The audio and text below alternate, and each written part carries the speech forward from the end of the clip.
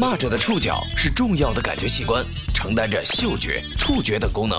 但为什么它的触角如此光滑呢？因为……哇，兄弟，你这触角好漂亮啊！你放心，我不吃你，我就摸摸。哎哎，别走啊！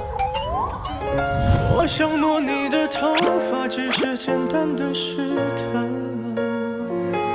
你退半步的动作，认真的吗？小小的动作，伤害还那么大。太滑了！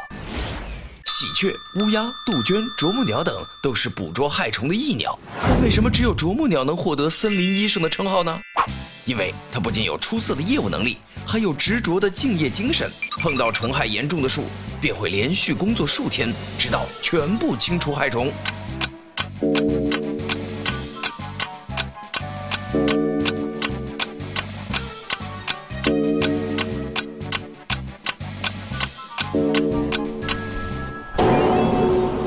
够了，我能放弃治疗吗？